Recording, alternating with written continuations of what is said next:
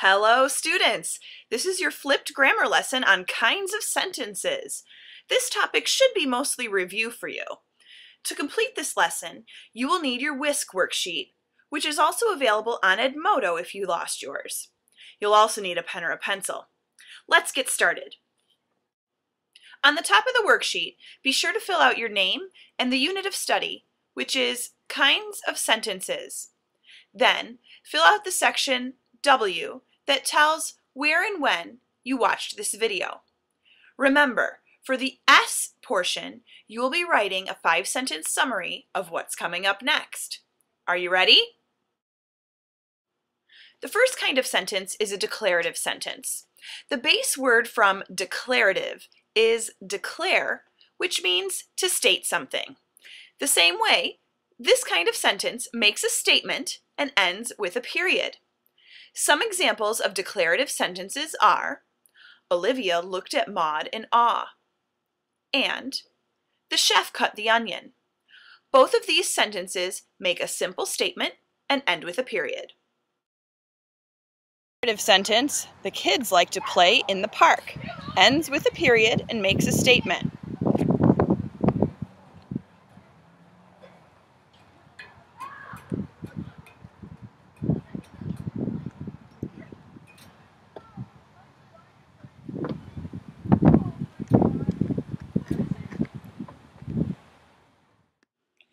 The next kind of sentence is interrogative.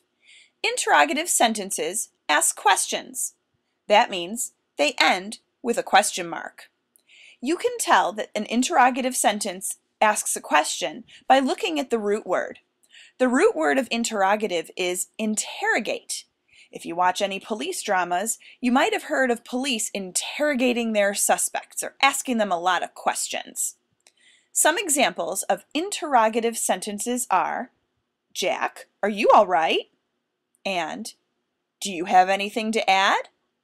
In both of these sentences, we're asking a question, so we end with a question mark, and the inflection of our voice goes up at the end to indicate we would like an answer. Make it across the monkey bars. It's interrogative and ends with a question mark because it asks a question.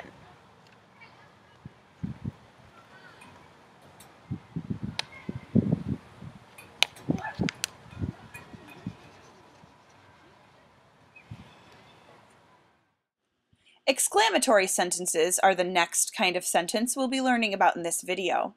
Exclamatory sentences express a strong feeling and end with an exclamation point. That exclamation point should show you that someone has that feeling of anger or excitement or some other strong emotion that's associated with whatever the sentence is talking about.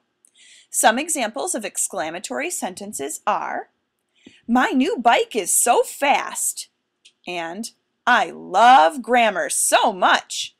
Both of these sentences show strong emotion and end with an exclamation point, so they are exclamatory sentences. Yes, I did it! This sentence is exclamatory because it ends with an exclamation point and it shows a, a feeling of strong emotion. The last sentence type is imperative.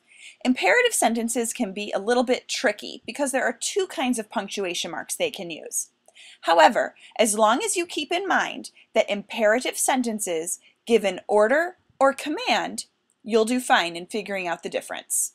Imperative sentences can end with a period or an exclamation point. Some examples of imperative sentences are, pass the potatoes please, and hold on tight. Both of these are giving some type of an order or command. That's what makes them imperative sentences. Watch out for your brother! This sentence is imperative, and it can end with an exclamation point if it shows strong emotion, but it can also end with a period. This sentence makes a command. To complete this assignment, please fill out the S and Q sections of your WSQ worksheet. In the S section, write a five-sentence summary of what you learned from the video. In the Q section, write a question you might have about something you did not understand in the video. If you have no questions, Then create a test question for your classmates. Make sure your assignment is completed by the due date and that it's turned in on time. Thanks for watching and see you again next time.